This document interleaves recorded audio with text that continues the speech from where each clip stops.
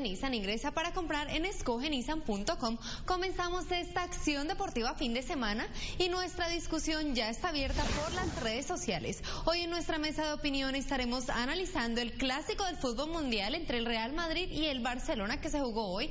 Además, ¿qué dejó la eliminatoria por la CONCACAF después de dos juegos y la CONMEBOL después de cuatro? Yo soy Grace Quijano y les doy la bienvenida a esta acción deportiva de hoy.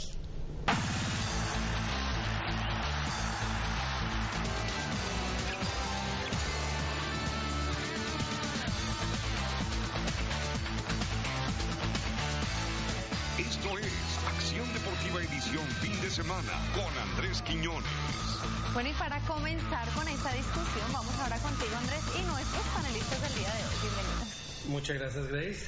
Y hoy, como hace ocho días, entramos directamente con la discusión y para ello presentaremos a nuestros panelistas. Está con nosotros el ex profesional colombiano Carlos Barrera, que jugó en el Medellín y hoy, además de ser técnico, eh, graduado en la Argentina, ha sido entrenador de porteros con las reservas de los Atlantas Silva. Carlos, muy buenas noches. Buenas noches, Andrés. Eh, primero todo agradecerte tu invitación. Buenas noches, Alejo. Un placer estar con vos acá en la mesa. Bueno, como ya lo decía Carlos, repite con nosotros eh, Alejandro Pombo, pero Alejandro, como ya repite, ya es conocido, entonces vamos a entrar en materia con Alejandro. Bueno, Alejandro, tu primera impresión de ese partido de hoy, ese clásico entre el Real Madrid y Barcelona. Eh, eh, yo he dividido el análisis en tres. Primero, eh, hombre por hombre, el, el Barcelona fue completamente superior, desde el portero hasta los cambios. El segundo análisis es eh, línea por línea.